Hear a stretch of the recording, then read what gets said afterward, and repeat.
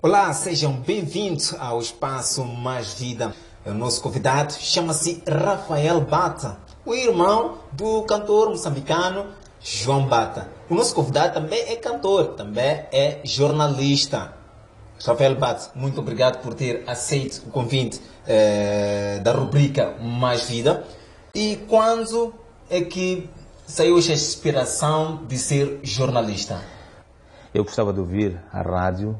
Uh, ainda criança eu recordo que até queria problemas em casa.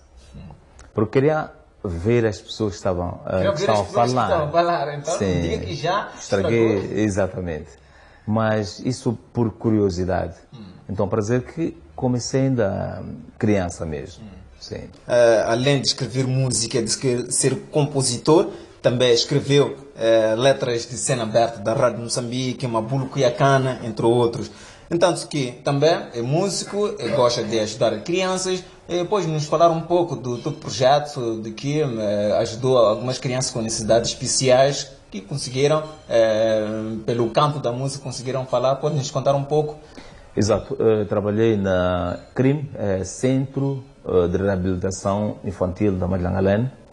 Eh, lá existiam, nessa altura, não sei agora, eh, se ainda continua, mas eu trabalhei na área musical. Eu cantava, ensinava crianças eh, eh, com deficiências, né?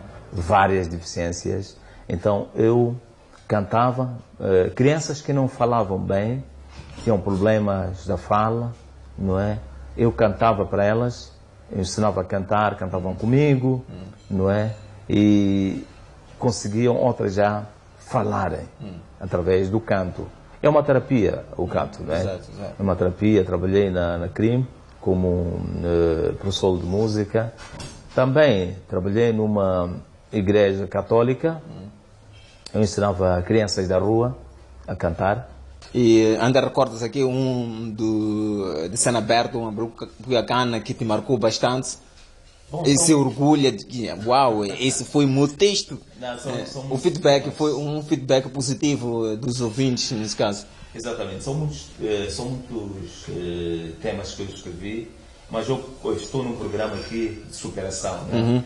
mas vou falar eh, um dos programas do eh, eh, Jotam, né? também que foi impressionado um jovem cego que casou com uma, aliás, namorava né, na altura, com uma mulher, uma moça muito linda, mas as pessoas eh, ignoravam, ou seja, falavam mal. Porque ser o jovem ter, eh, ser cego. Exatamente. Mas é- é- era uma história né, que eu só escrevi eh, para fazer ver às pessoas que o fato de alguém ser cego pode namorar com alguém, uma, uma, uma mulher linda, não é? E por coincidência, essa moça eu dei, dei o nome de Linda também. Então, ah, a pessoa que falava mal deste cego, ah, no fim da história, ele também adquiriu uma deficiência. Opa, opa. Nós despedimos, por quê? Eh, com promessa de cá voltar numa próxima oportunidade. Até lá.